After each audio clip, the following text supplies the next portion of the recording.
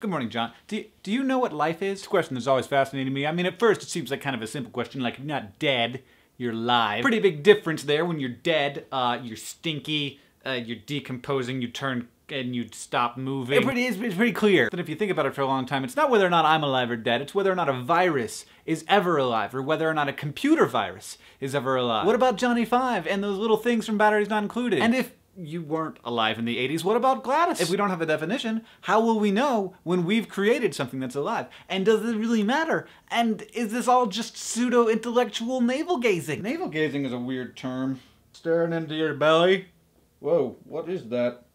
So when I asked on Twitter, I got some funny answers. But mostly what I got was a list of criteria, which appears to be what is being taught in schools right now. Move, respire, sense, reproduce, excrete, and nourish. First, that is a list of criteria. It is not a definition. Second, that list of criteria seems a little bit unnecessarily restrictive to me. Like Lieutenant Commander Data, if you are Star Trek nerd, he doesn't respire, he doesn't grow, he doesn't reproduce, but nonetheless he is alive. He's more than alive, he's sentient. So my personal definition, this is the one that I've come up with. Life once. If thing X requires thing Y in order to continue its existence, and thing X shows attempts to acquire thing Y, then thing X, uh, apparently wanting thing Y, is alive. A side note, if wanting is in fact the fundamental attribute of what makes things alive, I think it goes a long way to explaining why uh, humans never seem to uh, stop wanting. I mean, even if you got like 20 thingamabobs, you got who's its and what's its galore, still, oh, I'm about to embarrass myself, aren't I?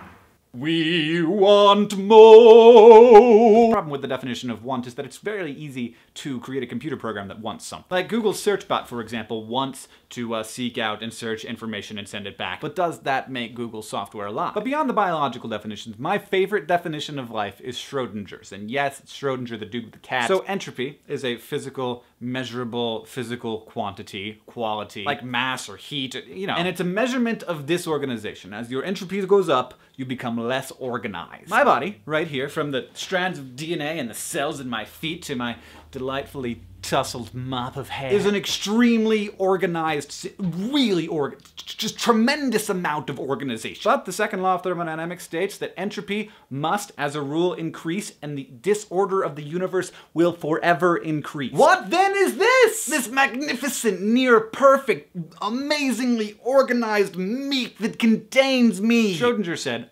basically, I'm paraphrasing. Life is any system that continuously decreases its own entropy using energy around it. Basically, Schrodinger took a fundamental philosophical question and answered it with an equation which is just amazing. But if life organizes itself using energy, then Schrodinger's definition kinda is just as bad as mine when it comes to Google. Though Google, no doubt, was created by man, it currently, uh, on its own, organizes itself using the energy that it, it has, which is the power from the power grid. So, is Google alive? I'm going to break some rules here and venture a cautious yes. And you are welcome uh, to comment on my idiocy in the comments. Now there's some people who say that they value all individual living organisms just because they are alive. To those people I say, you don't really believe that. I made a point this morning to not brush my teeth. Yeah, how was that related? But because I didn't brush my teeth today, there are approximately 100 billion living organisms in my mouth right now. The question becomes, do all of those organisms have value? And if they do, then do I have a responsibility not to to kill all of them?